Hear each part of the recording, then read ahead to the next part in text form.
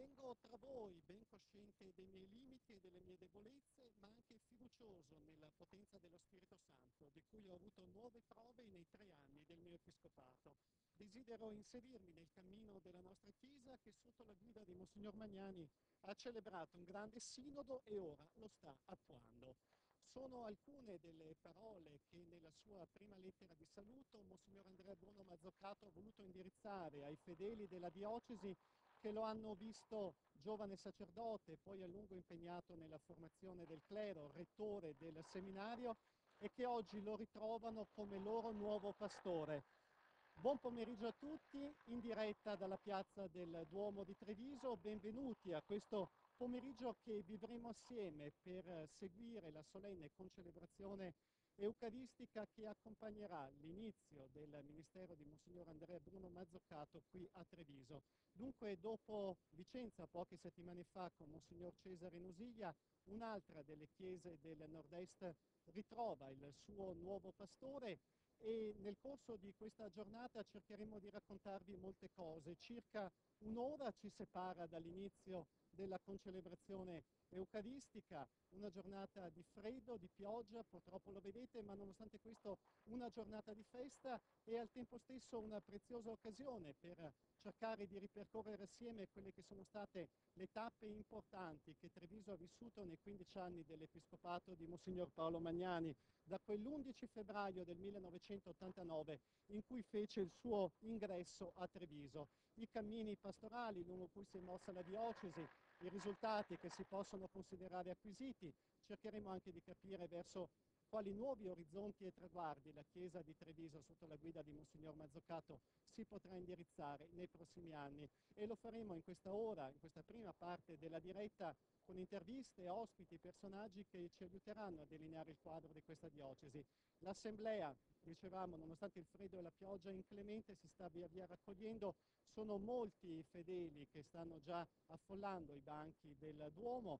l'ingresso ufficiale, la prima tappa di Monsignor Mazzoccato nella tarda mattinata di oggi a Campo San Piero, cittadina dell'Alta Padovana, porta verso sud della diocesi di Treviso, famosa anche per i suoi santuari antoniani. E lì per noi c'era Paola Sartore che ha seguito le, la prima tappa di Monsignor Mazzoccato. Allora Paola, so che sei arrivata da poco con le immagini Forza. che io tra poco pregheremo il nostro regista Massimo Pradella di mandarle in onda per aiutarci, intanto aiutaci tu a raccontare che cosa ad è entrare, successo. ad entrare nella giornata. Allora noi abbiamo accompagnato Monsignor Mazzocato in questo passaggio attraverso eh, le diocesi. Tra l'altro vorrei fare una piccola parentesi perché Campo San Piero è una diocesi molto particolare, ha tre chiese, una è padovana, due sono trevigiane ed è proprio in una di queste due parrocchie, chiese parrocchiali, che Monsignor Mazzocato ha fatto tappa, la chiesa di San Pietro dove è stato accolto da, da tutta la comunità. Prima di arrivare in chiesa però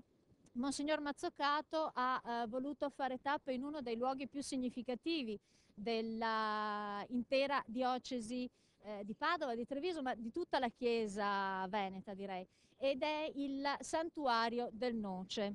A questo punto chiederei proprio l'aiuto eh, della regia. Ecco, stiamo vedendo le immagini, qui Monsignor Mazzocato era già entrato al santuario e il santuario del Noce è un luogo importantissimo per quanto riguarda il culto antoniano. Ehm, narra infatti eh, la tradizione che in questo luogo dove poi fu eretto il santuario, ehm, Sant'Antonio, ecco lo vedete in queste immagini,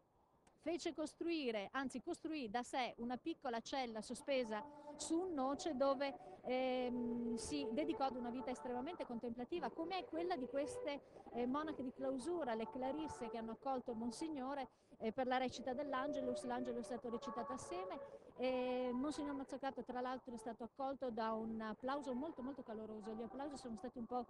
il segno distintivo anche della visita a Campo San Piero. Un momento di preghiera questo estremamente intenso, molto raccolto, poche persone, la pioggia eh, non ci ha nemmeno aiutato in questo e dal santuario del Noce, tra l'altro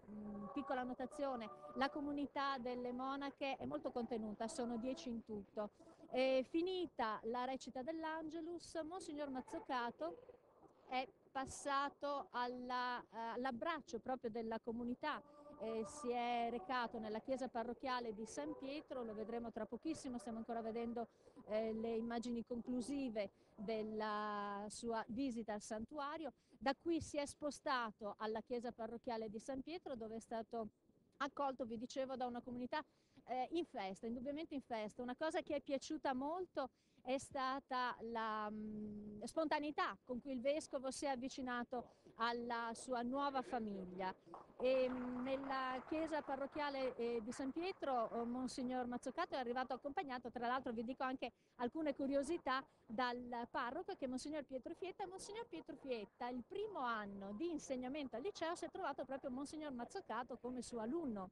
Non solo, ma la celebrazione della messa a San Pietro era presieduta da um, Monsignor Guido Santa Lucia, che è stato ehm, rettore del seminario di Treviso proprio quando Monsignor Mazzocato studiava.